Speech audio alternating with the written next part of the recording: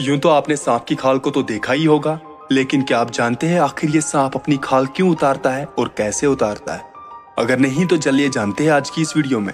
सांप के खाल उतारने के पीछे दो ही रीजंस है। पहला, इनका शरीर जीवन भर बढ़ता रहता है, लेकिन इनकी खाल नहीं बढ़ती, जिसके कारण इनको ये खाल उतार देनी पड़ती है। दूसरा, सांप के रिंग ज़मीन पर चलने से उनकी स्किन डैमेज हो जाती है, और बहुत सारे हार्मफुल पैरासाइट्स इनके स्किन पर लग जाते हैं। जिनके इन्फेक्शन से बचने के लिए ये अपनी स्किन को उतार देते हैं। दोस्तों, सांप के लिए खाल को उतार देना इतना ही आसान नहीं होता है। खाल उतारने से पहले सांप सुस्त पड़ जाता है और उसके पूरे शरीर का रंग नीला सा हो जाता है, जिससे सांप को देखने में भी प्रॉब्लम हो जाती है और कहीं दिनों तक खाना पीना छोड़ देता है। फिर वो अपने झबड़े के पास पत्थर या किसी नोकीले चीज़ से रगड़ कर कट लगा लेता है।